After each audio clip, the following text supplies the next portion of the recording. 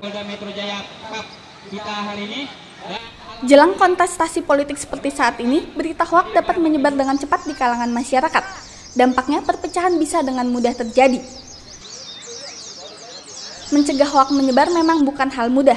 Dengan demikian, pihak kepolisian khususnya jajaran Polres Bandara Soekarno-Hatta melakukan berbagai cara untuk mengalihkan perhatian masyarakat dari berita hoax. Misalkan dengan kegiatan positif yang justru bisa mempererat tali silaturahmi. Salah satunya dengan menggelar lomba burung berkicau Kapolda Metro Jaya Cup 2018 dengan mengambil tema melalui kicau burung kita bangun suasana kebersamaan dan kenyamanan. Jajaran Polres Bandara Soekarno-Hatta berharap masyarakat bisa kembali duduk bersama menikmati kicau burung tanpa ada perbedaan yang menghalangi. Dan berita hoak yang membuat tensi kehidupan masyarakat meningkat bisa mereda kembali. Polresta Bandara Soekarno-Hatta sebagai bagian dari lingkup kerja Polda Metro Jaya ikut berperan aktif dalam menciptakan Kamtipmas, terutama bagi masyarakat di kawasan bandara.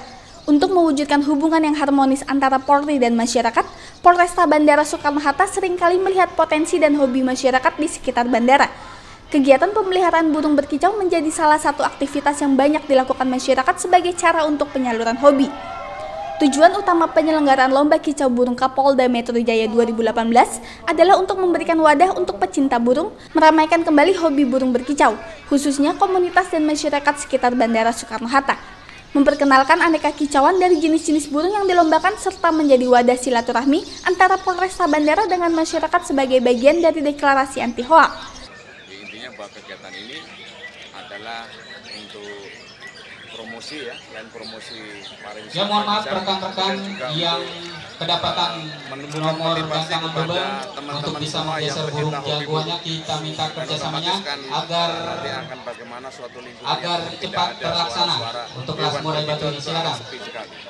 Tetapi dengan adanya perubahan burung ini silakan rekan-rekan yang merasa nomor gantangan double untuk bisa memindahkan karena masih ada nomor gantangan yang kosong. kita Indonesia ini akan menjadi lebih lebih bersahaja.